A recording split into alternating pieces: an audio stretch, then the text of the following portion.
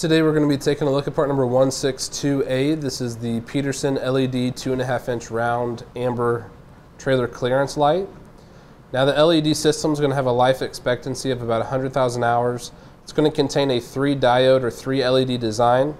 LEDs are going to make great replacements for incandescent lights. They're going to last longer, they're going to burn brighter, and they're going to be much more efficient. You don't have to worry about replacing the bulbs, and you don't have to worry about brittle filaments. It's got the nice amber lens with a white base. This unit is sonically sealed for a waterproof design.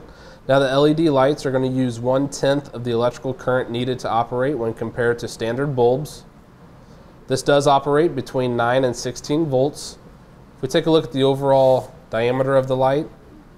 It's going to give us a measurement of about two and a half inches. The depth, measuring just the lens, that's going to give us a measurement of about 13 sixteenths of an inch.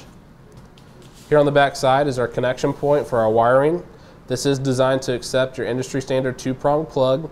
It's also designed to be mounted with a grommet. The grommet and the pigtail plug are going to be sold separately. You can find those here on our website using part number 162-18K. This unit is Department of Transportation compliant. We're going to go ahead and hook it up to our external power source. That way you can see what it looks like with power running to it. I have a two-prong plug here. So we're simply just going to place it into the female ports on the back. Give it a good push so it seats right into the housing back there.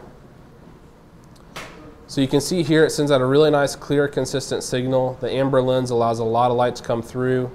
Uh, it's going to contain three LEDs, so the multi-diode design is really going to help optimize our light output. And again, this is designed to be used as a trailer clearance light. That's going to do it for our review of part number 162A. This is the Peterson LED 2.5 inch round trailer clearance light.